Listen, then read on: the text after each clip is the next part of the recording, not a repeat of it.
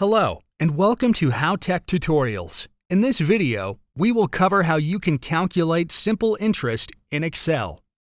This type of interest usually applies on small-term loans where we multiply the rate with the principal amount and duration. When calculating simple interest payments, we only calculate the interest amount based on the original principal amount. Let's say we want financing for $25,000 with an annual rate of 15% for a total of three years. The borrowed amount here will be positive because you are getting the money. We will use the future value function to find out the simple interest paid against the loan.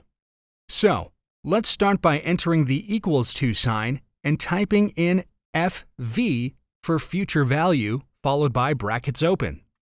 First is the rate, which will be the interest rate for the loan. But since this is simple interest, there will be no rate as it doesn't increase at all. Remember, we are only going to calculate the interest amount based on the original principal. So let's type in 0 for the rate.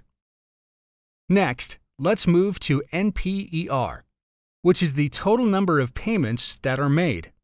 In this case, it will be one payment for each month. Therefore, let's select the cell with total months here. Next is PMT. In this case, we will calculate the monthly interest amount.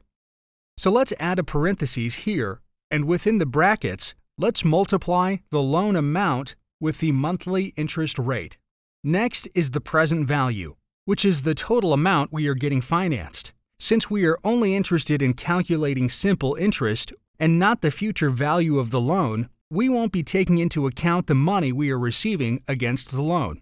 So, let's leave it blank. Last of all, you have the type.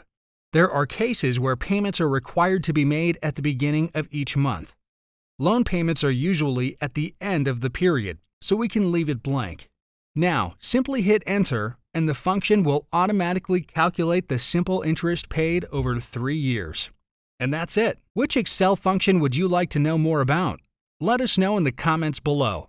Thank you for watching. If you liked this video, don't forget to give it a thumbs up and subscribe to our channel. And make sure to press the bell button to be the first to know about our new videos.